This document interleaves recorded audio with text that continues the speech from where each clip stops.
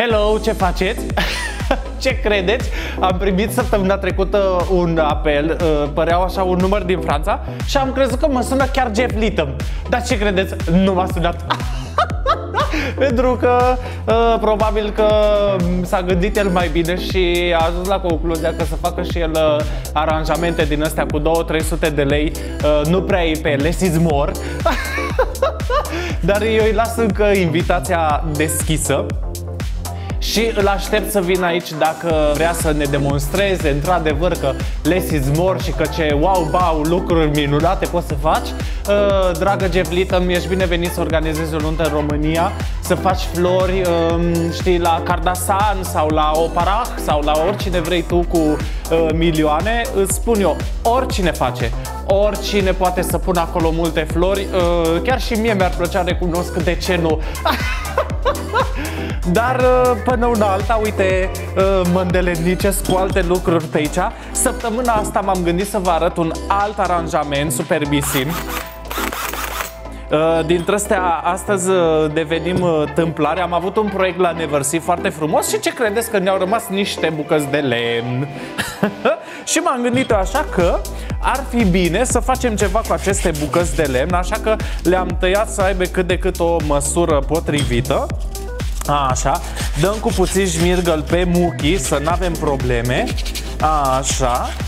Și în aceste bucăți de lemn facem niște găuri și folosim aceste probete de siglă minunate de pe floro.ro uh, Mă bucur nespus că sunt din București.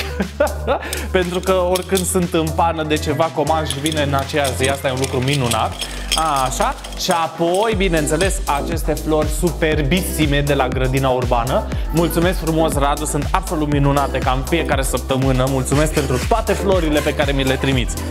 Așa, bucata asta e pregătită, dar ca să nu stăm acum foarte mult, am făcut deja doi suporți. Ia uite, foarte frumoase și în aceste găuri minunate, da, zici că sunt niște uh, bile din alea de popice, dar pătrate. O să punem aceste eprubete Ca să fixăm eprubetele tot timpul Putem să punem un pic de gluoasis Așa ca să fim siguri că stau aici bine. Oricum n-ar avea unde să cadă, dar cât să le fixăm puțin. Umplem aceste probete minunate cu apă. Mare, mare atenție, țineți minte, tot timpul când faceți un aranjament cu eprubete, să țineți cont în fiecare zi să verificați nivelul apei din eprubetă pentru că e destul de puțină apă aici într-o eprubetă și uh, florile beau destul de multă apă. În general, când avem un suport care e destul de simplu, atunci țineți minte ce v-am zis, trebuie să compensăm prin flori. Când suportul e un pic mai interesant, atunci poate aranjamentul să fie un pic mai simplu. Asta e foarte important să nu uităm niciodată.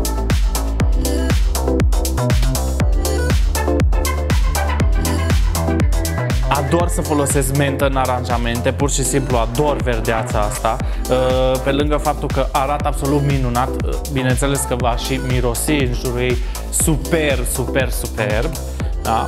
Și în special dacă facem genul ăsta de aranjament pentru nunți sau orice alte evenimente, vă asigur că toți invitații vor uh, simți și partea olfactivă. E un mic detaliu, dar e extraordinar de important.